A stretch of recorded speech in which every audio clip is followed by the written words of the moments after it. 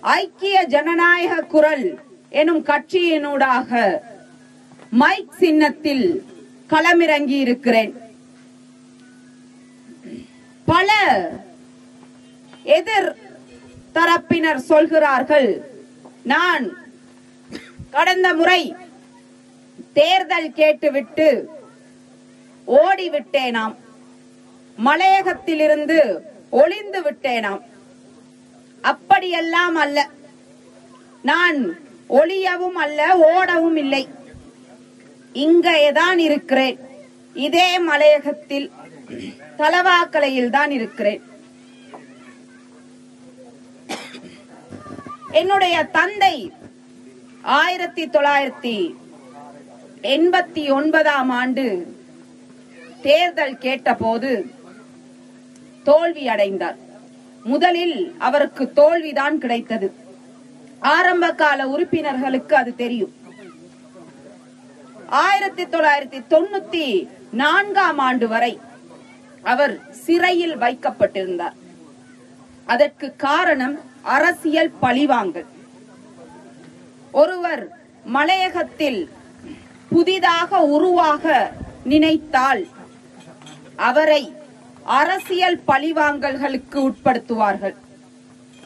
என்னையும் நான் கடந்த முறை தேர்தல் கேட்ட பிறகு நிறைய அரசியல் பழிவாங்கல்கள் தான் நடந்தது. நமக்கு வேலை செய்தவர்களுக்கு பழிவாங்கல்கள் செய்தார்கள். அதனால் நான் அமைதியாக இருக்க வேண்டும் என்று நினைத்தேன். சில அரசியலில் சில நேரங்களில் நாம் அமைதியாக இருக்க வேண்டும். அதைதான் நான் செய்தேன். நான் பதுங்கி இருந்தது இந்த பாராளுமன்ற தேர்தல் எப்போது வரும்? அதில் பாய வேண்டும் என்று நான் பதுங்கி இருந்தேன். என்னுடைய தந்தை அமரர் சந்திரசேகரன் அவரின் மகள் நான். புலி எப்படி ஓடும்? புலி எப்படி ஒளிந்து கொண்டிருக்கும்? அது பதுங்கிதான் இருக்கும் பாய்வதற்காக.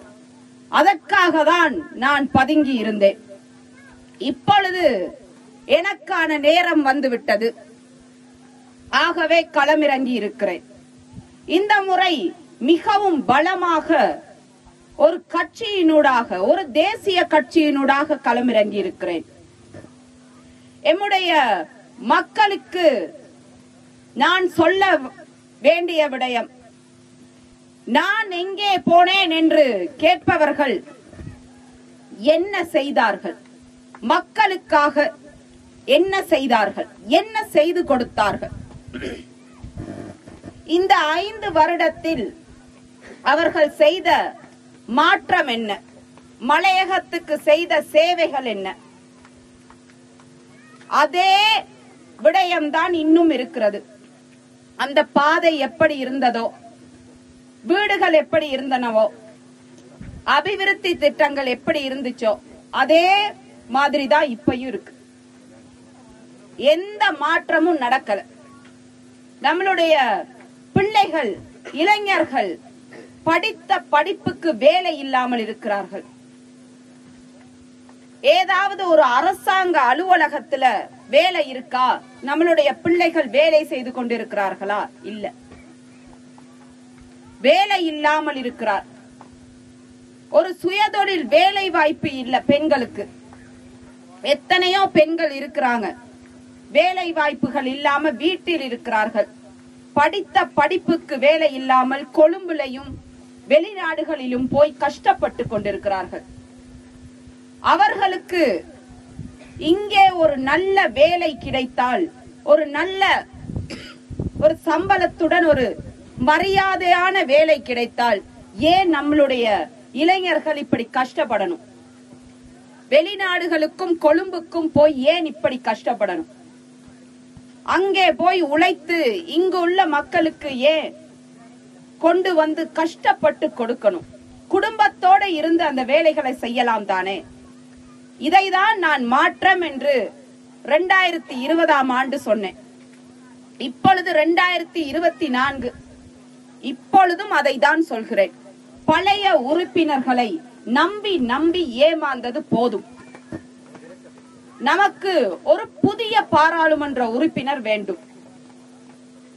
பழைய உறுப்பினர்களால் எந்த நம்பி எந்த பிரயோஜனமும் இல்லை. எந்த சேவைகளும் செய்யவும் இல்லை.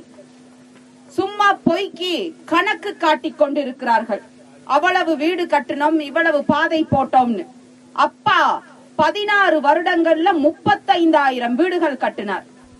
இவங்க இன்னைக்கு ஒரு மூவாயிரத்தி ஐநூறு வீடுகளை கட்டி கொட்டி கட்டி கொடுத்து விட்டு பொய் பிரச்சாரங்கள் செய்து கொண்டு திரிகிறார்கள்.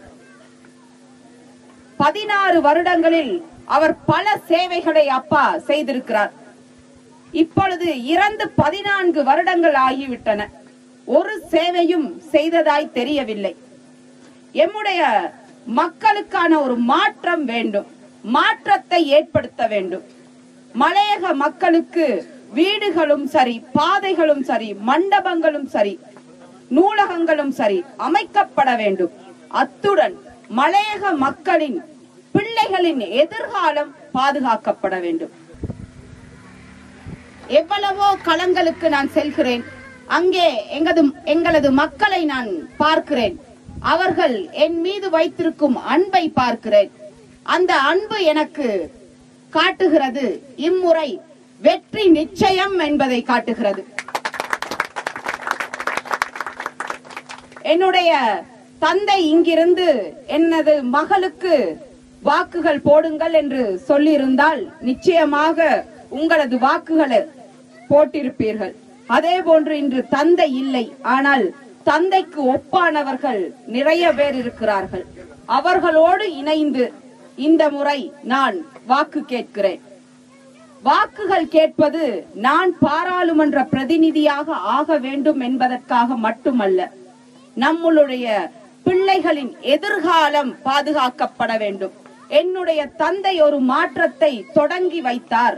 அதை நான் முடிக்க வேண்டும் என்பதற்காக இறங்கி இருக்கிறேன் முடிக்காமல் ஒருபோதும் மலையகத்தை விட்டு நான் ஓட மாட்டேன்.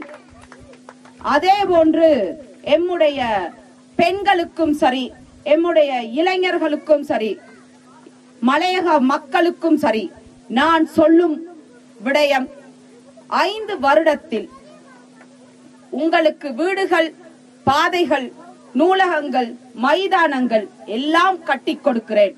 ஆனால் ஒன்றை உறுதியாக சொல்கிறேன். உங்களுடைய பிள்ளைகளின் எதிர்காலத்தை நான் பொறுப்பேற்கிறேன். உங்களுடைய பிள்ளைகளின் எதிர்காலத்தை நான் பொறுப்பெடுத்து உங்களுடைய பிள்ளைகளுக்கான நல்ல கல்வியை தந்து கல்வியின் மூலமாக இந்த நல்ல சமுதாயத்தை உயர்த்துவோம் என கூறி இந்த முறை மைக் சின்னத்திற்கு உங்களுடைய ஆதரவு இருக்கும் என நம்பி விடைபெறுகிறேன்.